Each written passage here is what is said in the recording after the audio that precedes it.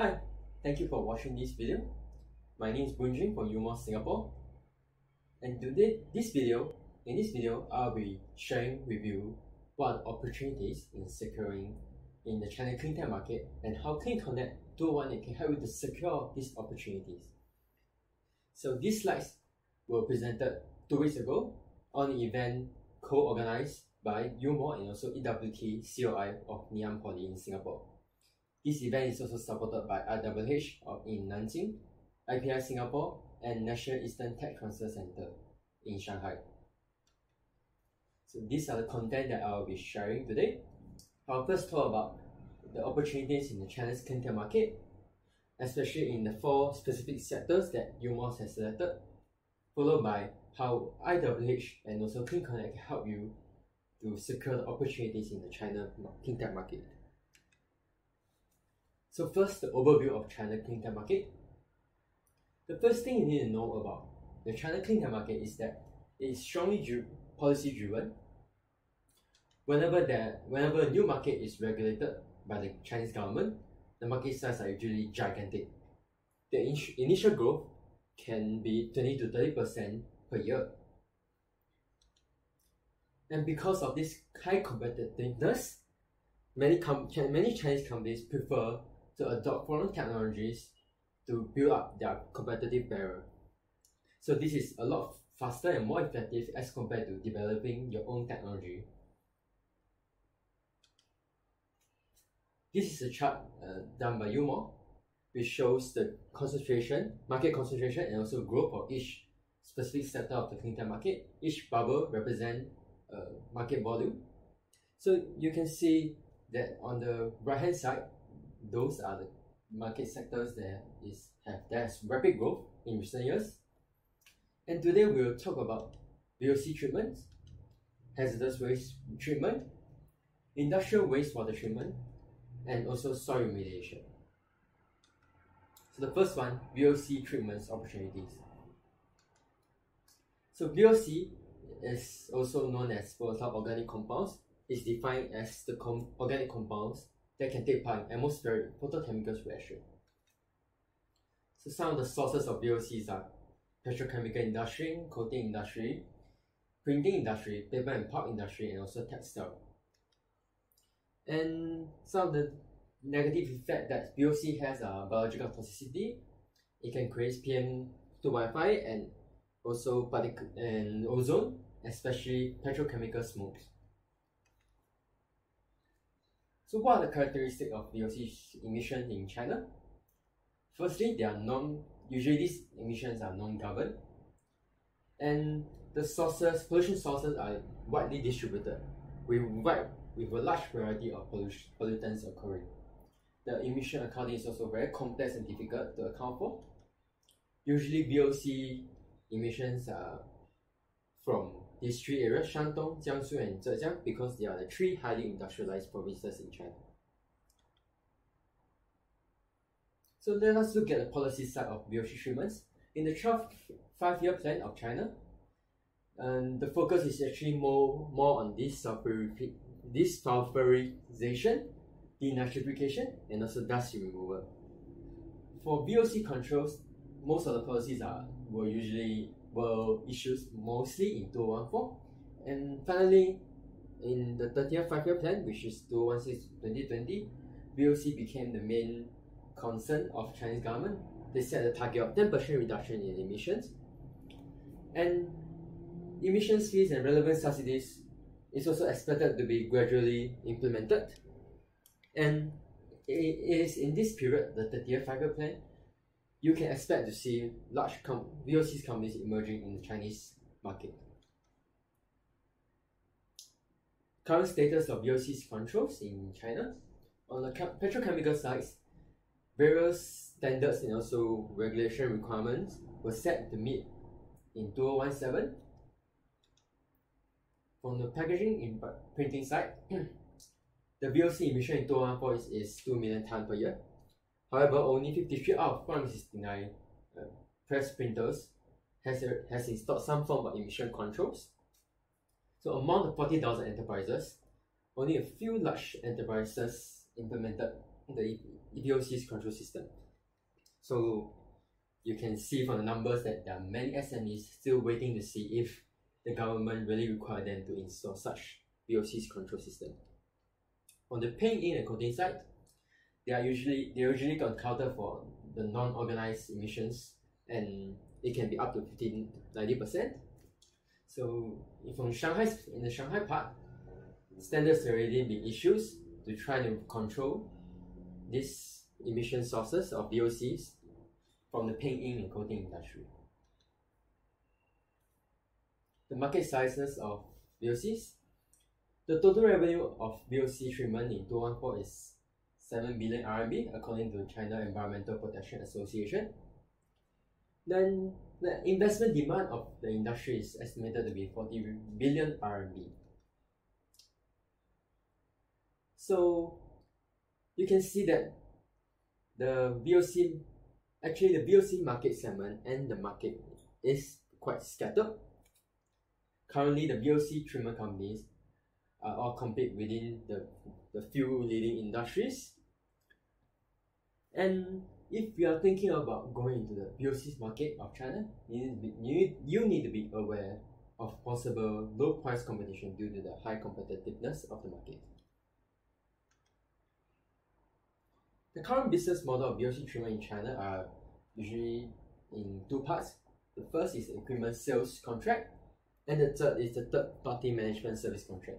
So, for example, a printing, a packaging printing industry of a whole city, county, or industrial park will entrust a third party for VOC treatment for their for their package services.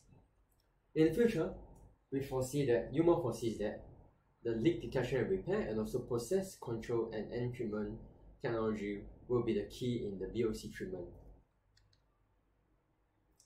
Nevertheless, the current VOC treatment technology level in China is still quite weak. It is dominated by large capital sufficient enterprises, especially the state-owned enterprises such as Petrochemical and uh, PetroChina, Sinopec. So opportunity for SMEs still remains to be seen but there are definitely markets remain for them to grow. Next, hazardous waste management. In China, hazardous waste is defined as waste that pose a threat to human health or the environment and usually have characteristics of toxicity, flammability, reactivity, corrosion, explosive, or infectiousness. So under the National Hazardous Waste List released in 2016, the list of waste are classified into 46 category and 409, 479 sorts. So as compared to the as compared to the hazardous waste list in Singapore, if you look at the go and look at the list online, China has a much longer list and much more detailed classification. Probably also because they have much more waste and pollution to, to account for as you know as compared to Singapore. So what are the types of hazardous waste in China? 70% of them come from industrial and 14% in medicals and the rest are from other sources. So today we will focus just on the industrial waste, uh, industrial waste part for hazardous waste because they are the majority. So for this graph, we can see the growth of industrial hazardous waste production and disposal from 2016 to 2015. So in 2015, the hazardous waste generation reached 39.76 million tons, which is an increase of 9.43% year on year. and the comparison utilization is 204 million ton and the disposal rate is 11 million ton.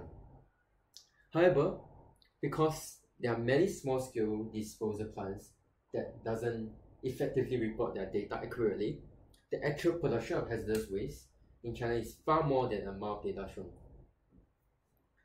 So, industrial hazardous waste generate account, account for 3 to 5% of the industrial waste. Mm, so, we estimate that 80 million ton of production volume is a more accurate value instead of the 11 million ton in disposal. In 2015, 52 million ton per year of approved hazardous waste unit were issued. However, only 50 million tonnes are in actual operation. Hence, there's a 70, 37 million tonne of gap waiting for the market to fill in. So is hazardous waste management in China profitable market? Let us first look at the cost of treatment. The cost of treatment in China for hazardous waste is around 1,000 3,000 RMB per ton. The charges are 3,500 to 4,000 per ton, RMB per ton. For, according to the research data of E20 platform in China, the gross profit of the listed company of a China A-share hazardous waste disposal business is has reached 40 to 50 percent in the past five years, and the net interest is about 20 to 30 percent. The prediction of the hazardous waste market is estimated to be 886 million yuan in 20, billion yuan in 2020. So for all these number, you can see that this is a highly profitable level market. So if you have the technology for hazardous waste treatment, you should go to China. So in China, parties that engage in collection, storage, and disposal of hazardous waste must have a hazard, hazardous waste management license. So in 215, there are 2034 business licenses that has some sort of technology or has waste treatment waste treatment processes that can treat such hazardous waste. So if you are so for hazardous waste treatment technology in China, the investment skills of such projects are usually high. The equipment price are also high. But the, dom- the domestic, the locally China hazardous waste treatment technology and also their treatment methods are still low as compared to the global market. Therefore, to enter the hazardous waste market of China, you need a high capital and also advanced technology and talent to apply the technology to the market itself. So the top 10 companies of hazardous waste of China, in China only account for 6.8% of the treatment capacity. So this shows that the market still lacks a leading enterprise for eh, the lead the hazardous waste market, which points to opportunities. Next, let us look at industrial wastewater treatment. In 2015, 73 billion tons of wastewater were discharged in China, according to the Environmental Statistics Data 2016. Among them, 27% of them are from industrial source or around 20 million tons. So let's look at the sources of the industrial wastewater. From on the right side, you can see the top five industrial wastewater sources has already have already accounted for more than half of the all of all the industrial wastewater. These are also, these are usually industries that they are severely contaminated and therefore it is the top priority of the Chinese government to treat wastewater from such sources. so the total wastewater treatment amount actually has been increasing slowly along uh, along the years, but the industrial wastewater discharge has been continuously decreasing due to the policy of you know, uh, water reuse and also restriction on wastewater discharge. So we predict that um, in this 35%, so until 2020, the discharge capacity was likely to continue to decrease because of the strong policies and effectiveness of the Chinese government on enforcing such controls. So to, to fully understand the water industry of China market, whether it's industrial wastewater or municipal wastewater or wastewater in general, we first need to understand the water tank regulation that issues during this 30th five-year plan. The final objective of Water 10 are to improve national water environment quality and to recover the water ecosystem. It sets the tone of wastewater treatment in China and it is more of an action plan rather than just a talk and no actions. So let us go through one by one on all the 10 regulation of the water 10. The first is the comprehensive control industrial wastewater pollution. So it, it makes sure that all small industrial corporations with poor environmental protection facilities are shut down unless they you know improve their wastewater discharge treatment. And to renovate the 10 key industry with cleaner, cleaner technology and centralized treatments for wastewater from industrial parks and other industries. Second, economy structure transforming and upgrading to adjust the industry structure and eliminate low-level equipment and technology. And also to enhance industrial wastewater reuse and encourage seawater direct use as industrial water.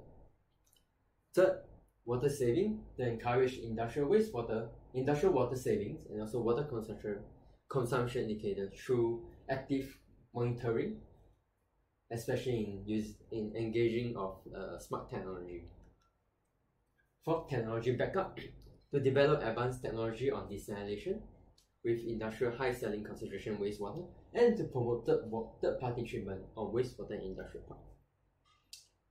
Fifth, to make full use of the market mechanism and set proper scheme for non-residential water use.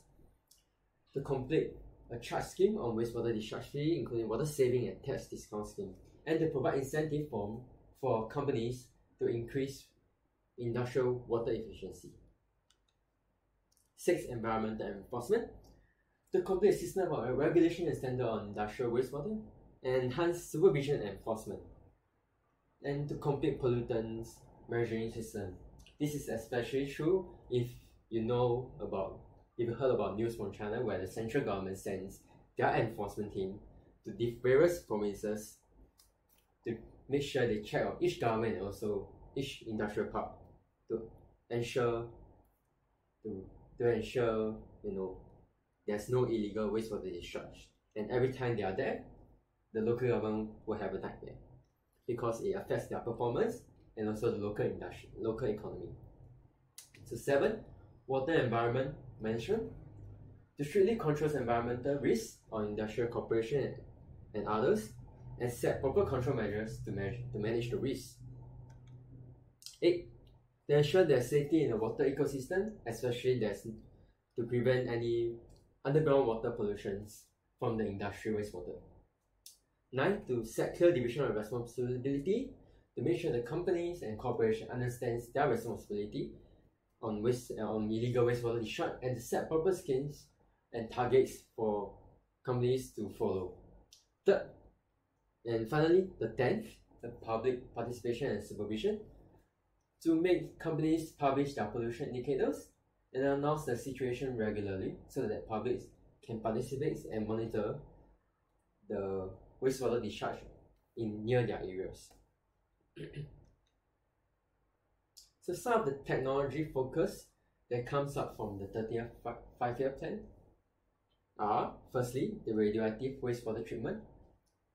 So radioactive wastewater uh, should be treated properly, obviously, because of you know the high radioactive characteristics. So this is an opportunity and there's a demand for such technology because the nuclear power plant is estimated to be doubled in China by 2050. And in the, the in the 30th five-year plans, there's also great emphasis on nuclear safety and, and radioactive pollution prevention. Therefore, if you have if you have technology for radioactive wastewater treatment, the China market is an attractive market with a high barrier because it also requires advanced technology which the China are lacking itself. Second, online monitoring and remote control system, including use of smart water technology. so the Water 10 and Water Pollution Prevention Law all stated the importance of supervision and monitoring. So they all underline that the industrial companies should be equipped with online monitoring facilities for supervision purpose. Companies should have you know any real-time controls on wastewater discharge including the use of remote control to increase the management efficiency with the least input. The use of smart water also optimize the water reuse and treatment process. And of course provide a comprehensive control of on all the water situation. So if you are on the smart water technology companies or online monitoring companies, this is an opportunity for you. Third, water reuse and utilization. So you can see from just now, the water tank regulation includes water reuse and also water efficiencies for the industrial, for the industrial wastewater reuse. So emphasis has the great emphasis has been focused on MBR and also zero liquid discharge technology because they are famous and highly effective for water reuse. Lastly, high concentration wastewater treatment, especially for pollutants such as ammonia, nitrogen, and saline. Now let's move on to soil remediation.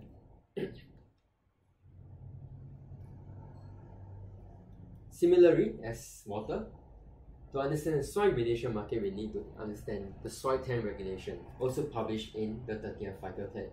The objective is to improve the soil quality, ensure safe agricultural products, and create a healthy living environment for people in China. So some of the key objectives of soil remediation from the soil tank regulation are by 2020 to curb the nation's increasing soil pollution, by 2030 to thoroughly control environmental risk of soil, and by 2050 to improve the environmental quality of soil completely. By 2020, China also aimed to make sure that 90% of the contaminated farmland can be used safely and there and ensure that there is also concurrently monitored and evaluated uh, survey based on the, standards set by the Chinese government by 2020.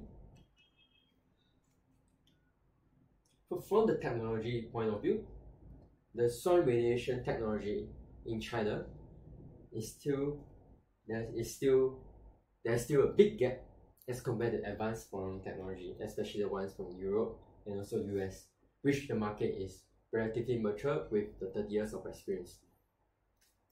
So technology and know-how for in-situ immobilization, bioremediation, safe disposal, and also resource recovery are in high demand in China right now. Umore estimate that the Chinese government will spend tens of billions of yuan each year on demonstration project of heavy metal contaminated soil restoration and also groundwater comprehensive treatments in the coming five years or four years. So the Chinese government are focusing so much on the soil remediation, not just for environmental reasons, but also for social and economic reasons. Because uh, contaminated soil has a domino effect in the Chinese society, involving also food safety, water safety, and even depreciation, depreciation of commercial property. So some of the more polluted areas of, in, of the soil in China are Yangtze River Delta and also Pearl River Delta generally, generally the developed eastern and central side of China. So soil remediation projects are actually quite a high risk project because they are usually invisible and entangled risks that you can't be seen that involve environmental issues such as, such as underground water pollution. Many times when the problems become apparent, you the original polluting source is already long gone so it's hard to track what is actually happening and what causes it. So, so where is the money actually from? Since as compared to you know water and air treatment, you can't really charge. Uh, the company can't really charge and gain like returns for soil remediation project. So according to the Financial Times, you know, the Chinese government required 5 to 7 trillion RMB to clean up all the contaminated soil in China. So this is equivalent to one third of the entire China foreign exchange reserve, which already exceeded the funds planned for water and also air pollution. So according to the Jiangsu Institute of Environmental Industry, there are 48 projects from 2016, 2006 to 2013 with open information over the source of funding. And 2 billion RMB of total investments were accounted for. So let us look at where the money are from. So you can see 47% of the money are self-funded by the companies that does the project, 28% by government funding, and 22% through PPP projects. So there for the, on the China soil remediation market side, none of the parties has actually found the perfect solution on how they should fund the soil remediation project. But fear not, for foreign companies that they are interested in soil remediation market, the real question that you should ask is what Chinese companies should you approach and partner with? So more Insights, we conducted a thorough research and summarized the big seven of the top players in the current soil remediation sector in China. So these are the top seven soil remediation companies in China right now. And majority of them, or half of them, are from Beijing, with strong ties with the government, which actually contributed to their success of being the top seven. so this top player has their success usually because they of their strong network rather than their advanced technology.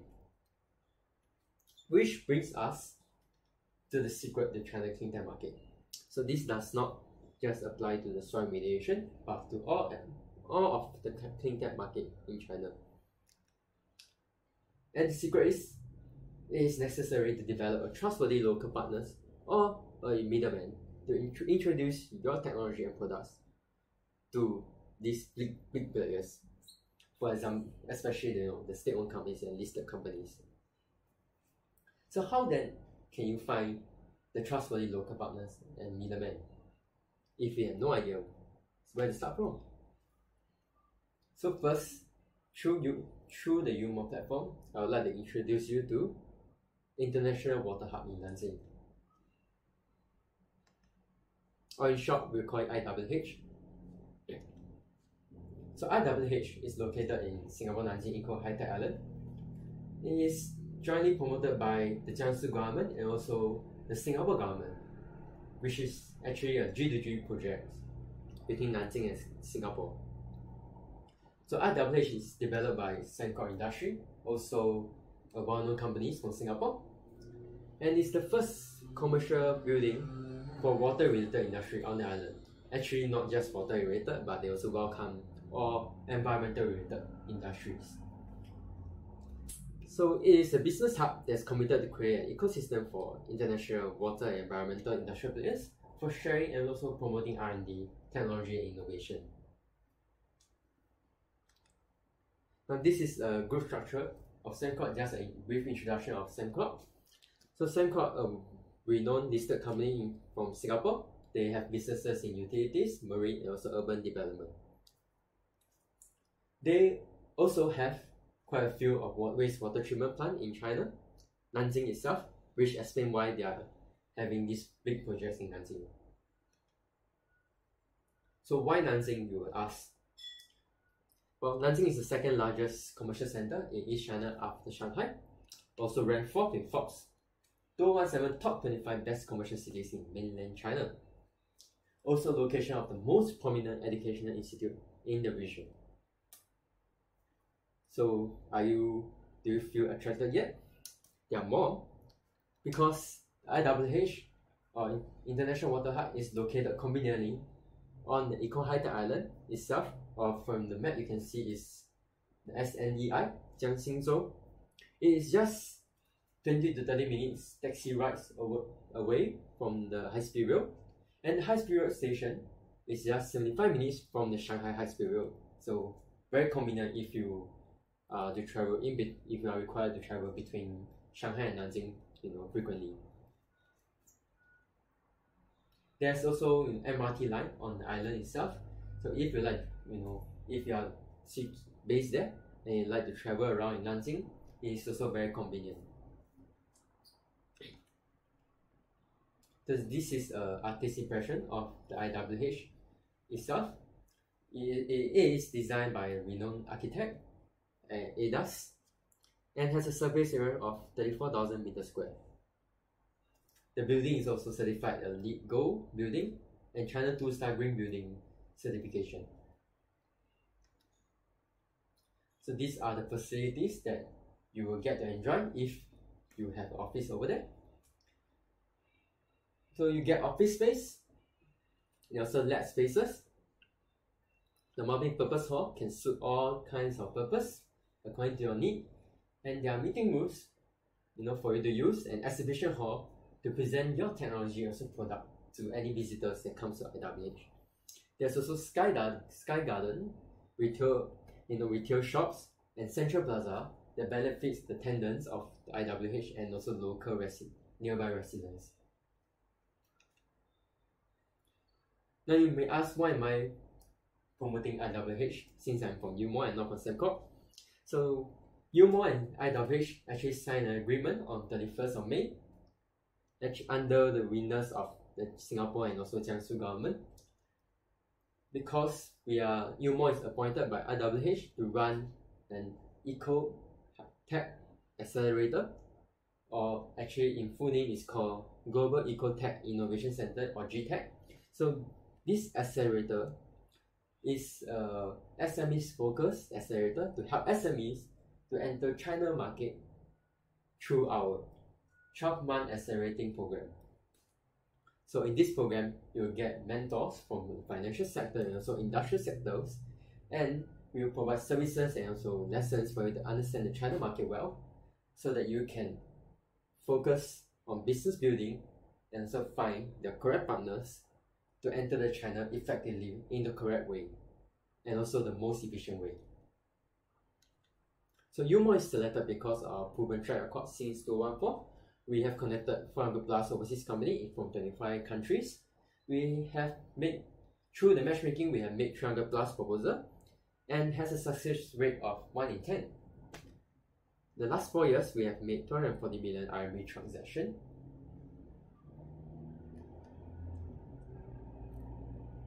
So these are the services that you get to enjoy if you want to enter our accelerator program.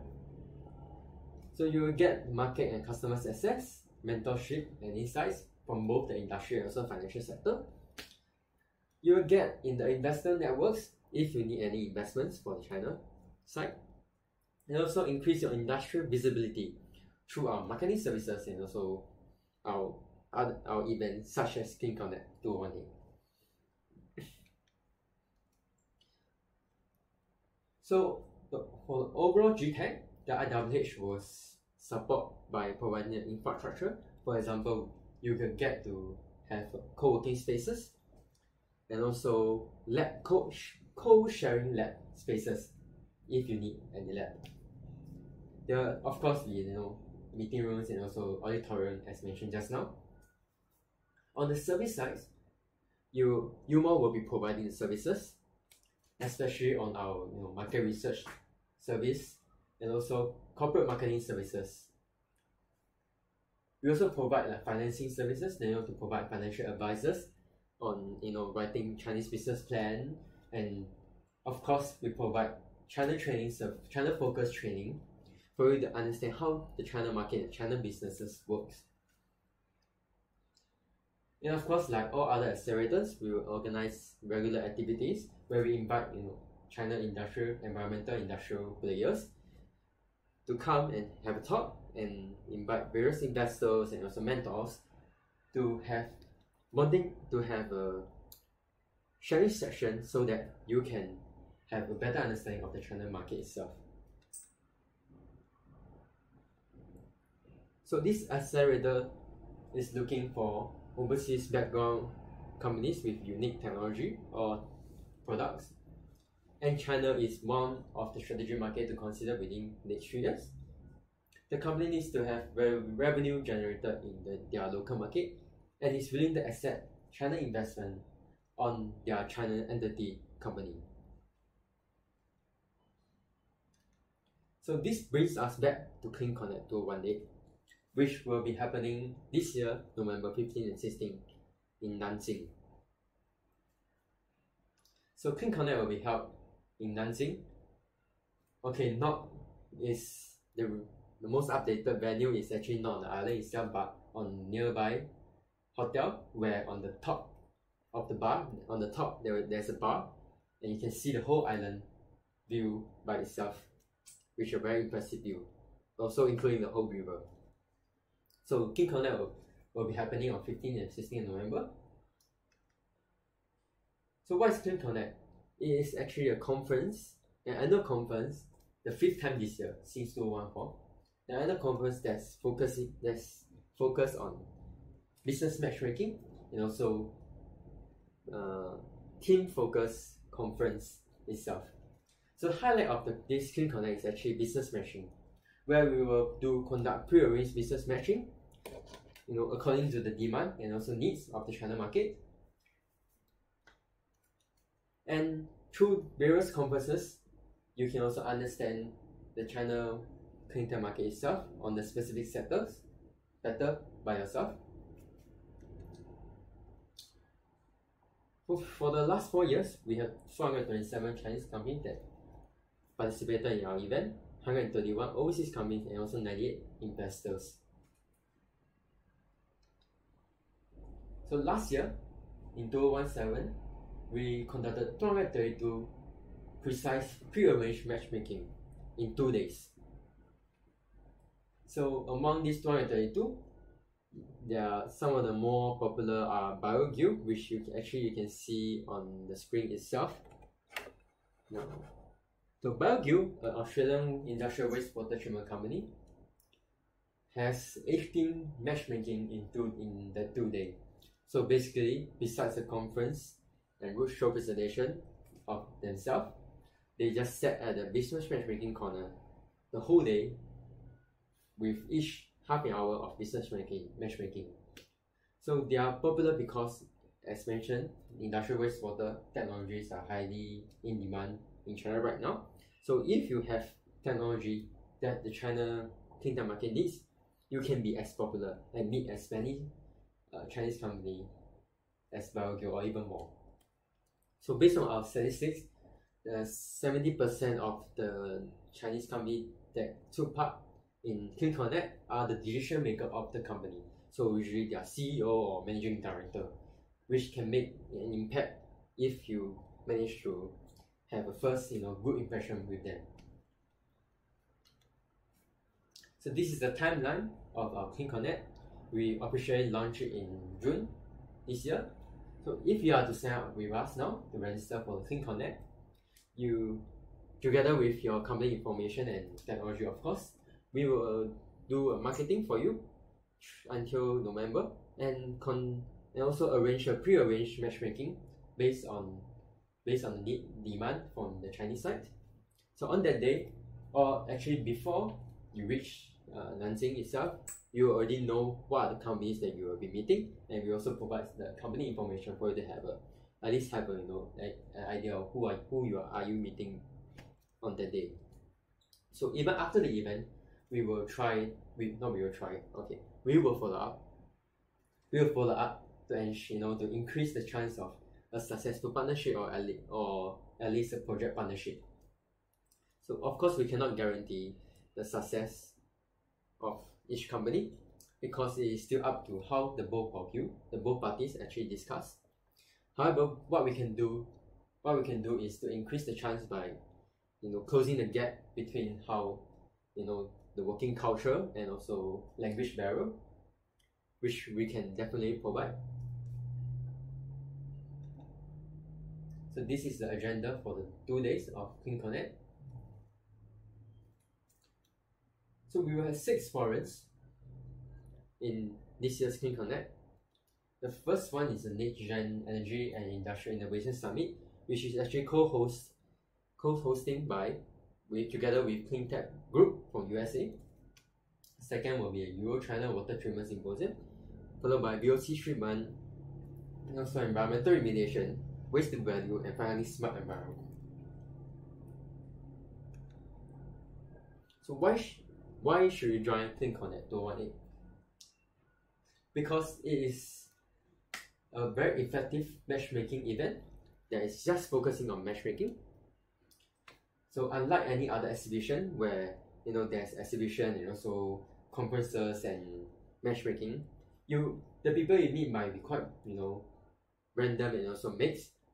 Clean Connect is a highly focused event where the Chinese company that is that part are just focusing on finding technologies that they are interested.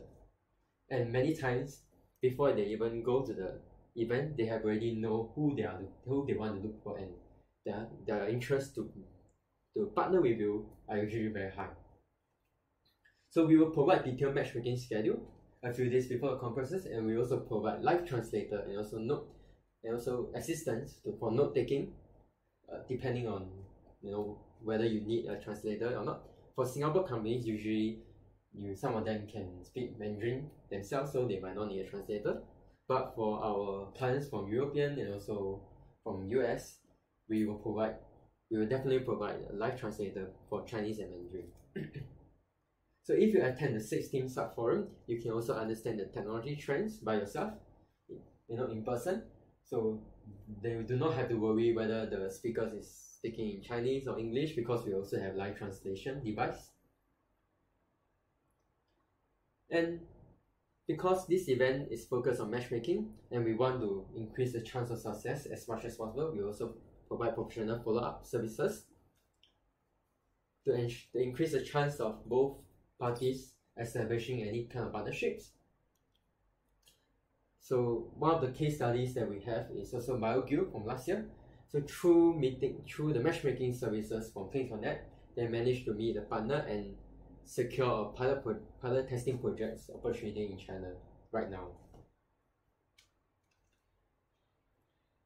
So Umore is the main organizer of CleanConnect 2017. We are honored to have strategic partners such as Streaming Venture, CleanTech Group from US, uh, Thermo Fisher Scientific, Sembcorp Industry, and also Clariant. Some of our sponsors and partners are of course IWH itself, and also EC2I from European Union, Clean and Clean Tech Challenge from Denmark, Tweet also from Europe, and National Eastern Tech Transfer Center and IE Expo of China. So you can see we have many partners, especially from you know European Union and also Denmark itself, where there are many advanced clean tech companies participating in this year's Clean Connect 218. So for Singapore companies, the, the benefit is are that you don't get you don't get to meet just the Chinese uh, business company and business business and companies to explore the China market, but you also get to meet the European companies with advanced clean technologies that are interested to come into Southeast Asia. So, not just that you can as you can venture your business further to China, you can also increase your market chance market share and also has chance to work with European partners by exploring with them in the Southeast Asia region. And of course, definitely, you also get to see IWH yourself and see what they have to provide and also how is the environment like in the island itself, which I can say is pretty good. And because they built according to Singapore standard, and there's even a round island track of 24 kilometers if you like running. So these are some of the photos from last year Clean Connect 2017. Photos from 2016 that was held in Hangzhou. 2015 in Shanghai. And of course our first Clean Connect also held in Shanghai in 2014. So in summary of what I have mentioned throughout the videos, First, China clean market has huge demand for advanced foreign technology, especially in the fast-growing market sectors. And to understand the market, you need to first need to understand the policies of China environmental market, especially the water TAN, air TAN, and soil TAN regulation. And you should get the opportunities before 2020 because that's where the 30th five-year plan ends.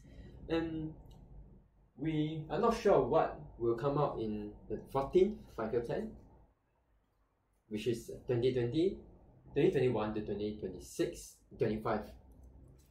So we Umore predicts that the encouragement and also incentive for environmental protections regulation might not be as strong as this 30 fiber plan, and they might change direction to focus more on smart technology or maybe other IoT services in, instead of the traditional uh, clean tech market.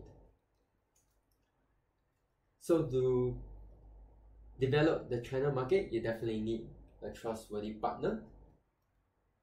The trustworthy partner or middleman.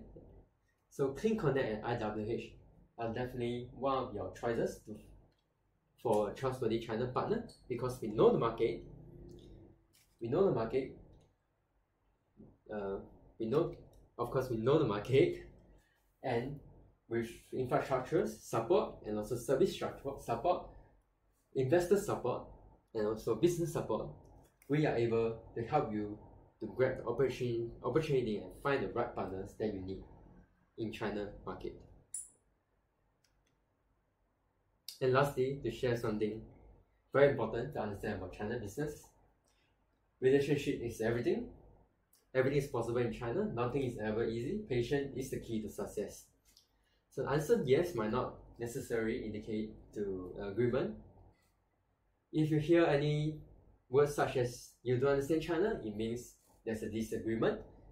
If you sign a contract with any Chinese partner, it means the beginning of the real negotiation.